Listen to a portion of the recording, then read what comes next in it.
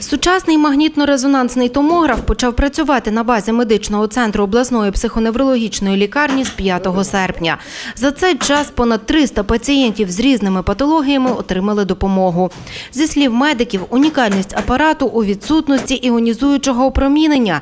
Натомість застосовують безпечний метод ядерно-магнітного резонансу. Так як наш апарат е, знаходиться е, на місці психоневрологічної лікарні, е, відповідно, основне це є неврологія, також нейрохірургія. Це основно, основному йдуть і якісь інсультні хворі ну, пацієнти.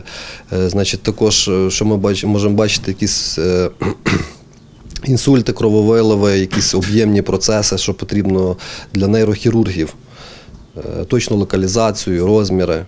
Покращене зображення, точна діагностика, велике поле огляду – ці переваги МРТ-апарату спрощують та полегшують роботу лікарів.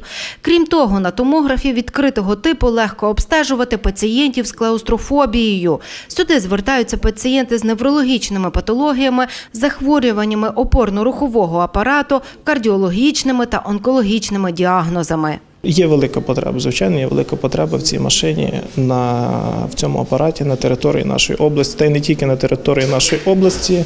Ми вже маємо досвід роботи з пацієнтами, котрі приїжджають з сусідніх областей, районних центрів, і результатами роботи пацієнти задоволені.